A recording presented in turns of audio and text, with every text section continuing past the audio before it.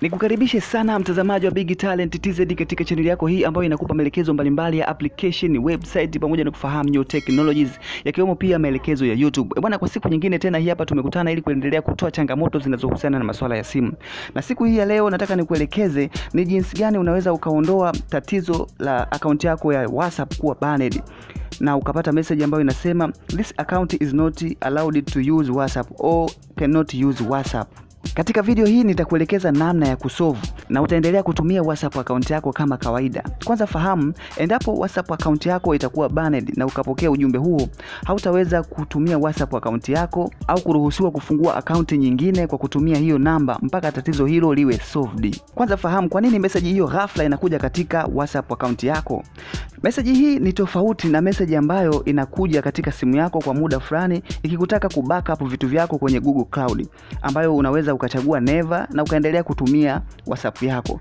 Lakini hii meseji ya sasa yenye kubane akaunti inaambatanisha na ujumbe unaosema tumemaliza kupitia akaunti yako, tumegundua shughuli za akaunti hii zinakwenda kinyume na huduma za WhatsApp, yani WhatsApp Terms of Service. Ukitembelea katika sheria na kanuni za matumizi ya WhatsApp, WhatsApp team inasema hivi, tunafungia akaunti kama tutaamini shughuli zinazofanyika ni violate, yaani zinakeuka sheria, yaani terms of service.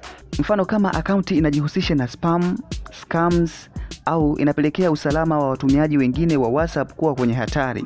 Wanaendelea kusema tungependa uendelee kupitia kwa umakini matumizi yanayokubalika ya huduma zetu.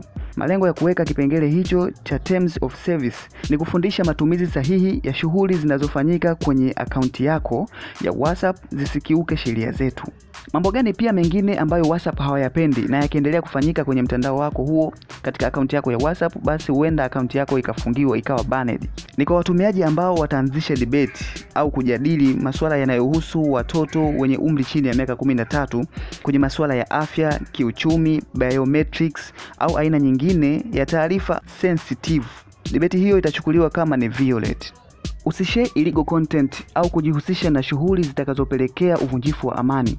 Usishare content ambazo zitapelekea madhara ya moja kwa moja kwa watumiaji wa WhatsApp. Kujihusisha na shughuli za kitapeli.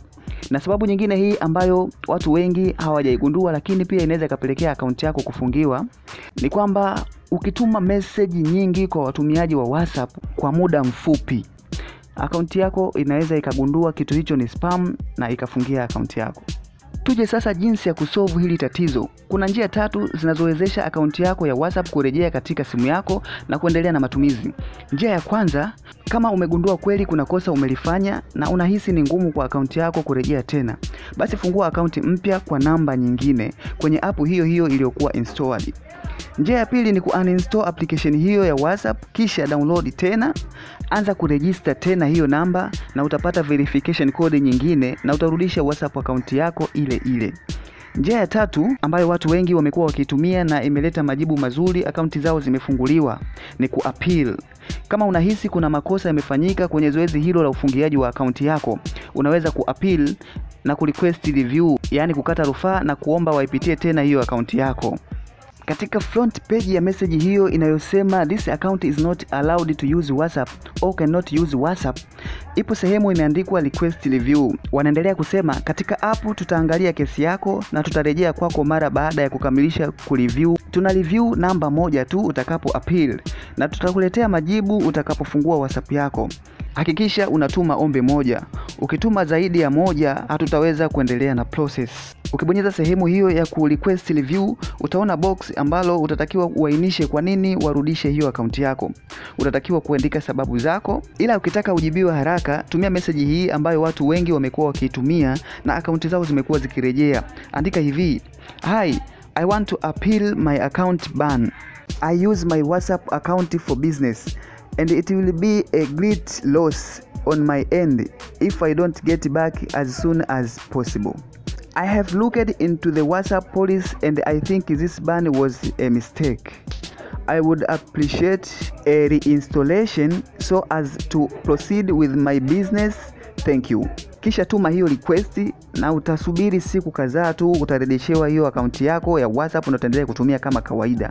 E bwana, hii ni Big Talent TZ. Nadhani nimekupitisha kwenye jinsi gani unaweza ukarudisha hiyo akaunti yako na kutambua mambo gani ambayo WhatsApp wamekuwa wakiyazuia mtu asitumie kuepuka kufungiwa akaunti yake hiyo.